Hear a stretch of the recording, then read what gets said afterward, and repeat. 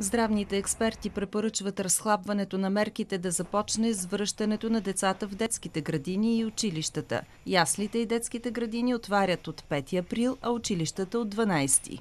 Ще се върнат учениците в училище по график, който ще изработим с министър Вълчев от 5 до 12. Театрите и фитнесите ще отворят от 1 април, но при използване само на 30% от капацитета си. От 1 отварят и откритите площи на ресторантите. Затворени за сега остават нощните заведения, моловете и големите магазини, с изключение на тези, които имат пространства на открито. Мероприятия на закрито не предвиждаме в момента да се провеждат до края на месец април.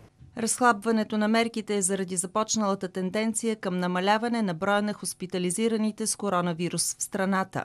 Надяваме се това да е трайна тенденция, тъй като в Кюстендил се наблюдава такъв тип тенденция от доста време, така че се надяваме да сме на най-високата точка на пика на тази трета вълна, за която говорим. А премиерът Борисов прогнозира, че страната ни може да излезе от пандемията през юни, когато ще има повече вакцинирани и повече преболедували.